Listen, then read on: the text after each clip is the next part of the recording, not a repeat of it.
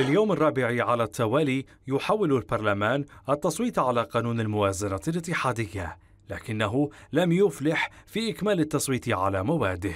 67 مادة غير المضافة صوت المجلس على 33 مادة منها. عدم إكمال بقية المواد يعود وفق نواب إلى تنحرات سياسية. تنحرات لم يرتضيها الشارع. اليوم الرابع على التوالي ولحد الآن ماكو أي قرار جديد؟ زين مصالح متعطلة البلد معطل الناس تريد فتحها تريد شغل. فنتمنى من عندهم انه يكونون جادين بهالموضوع هذا. كل خميس اللي يجي راح تنقرر الموازنة يجي الخميس انتهى الخميس وماكو موازنة.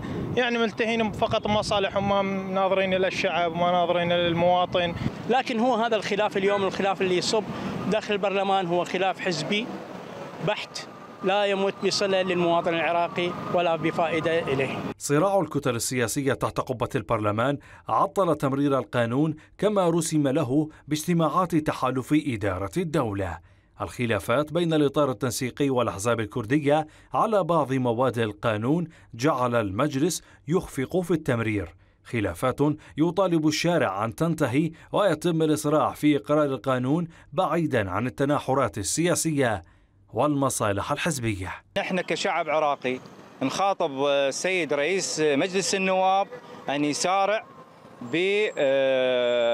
بإقرار الموازنة لعام 2023 2024 2025 يعني بدون محاصصات وبدون مصالح شخصية. الواجب الوطني والواجب الشرعي والواجب الشعبي إقرار الموازنة. لأن الموازنة تمس حياة المواطن العراقي تمس الخدمات البناء الإعمار تمس القوانين اللي تخدم كل الكرنفال العراقي. وفي جلسة اليوم تتأمل الأوساط الشعبية إلى إكمال التصويت على مواد القانون بالكامل دون الذهاب إلى يوم خامس أو أبعد من ذلك لإقرار قانون ينتظره الشارع بفارغ الصبر. من العاصمة بغداد بدر الركابي التغيير.